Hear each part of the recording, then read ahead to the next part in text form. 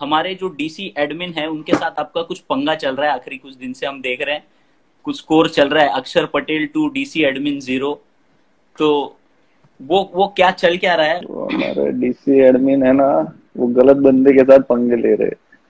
तो मैं उनको बताना चाहता हूँ पंगा ना लो पंगा ना लो पंगा। ए, ए।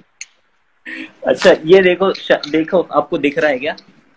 हाँ इसमें उसने बोला था कि आप मुझे कभी भी बता दो कि अक्षर पटेल बिना शेड से कब प्रैक्टिस करते हैं। तो इनको मैंने जवाब दिया था आप कभी नडियाद आके देखो। सब पता चल जाएगा कि कब मैं प्रैक्टिस करता हूँ शेड के साथ और कब नहीं। और ये दूसरा? और ये दूसरा हाँ।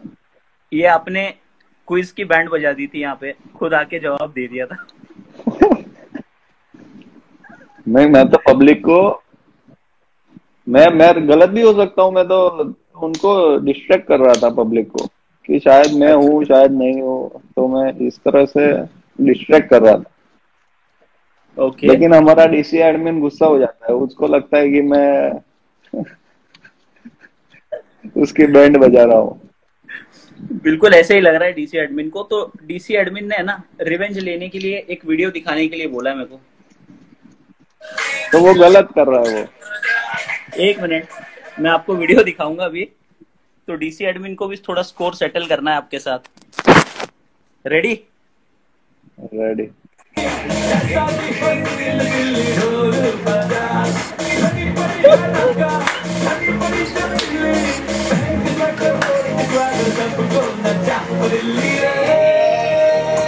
ये ये।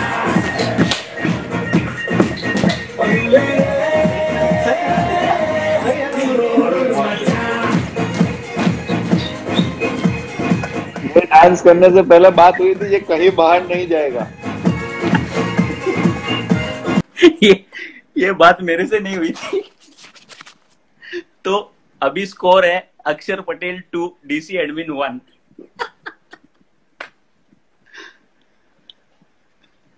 इसका बदला लिया जाएगा।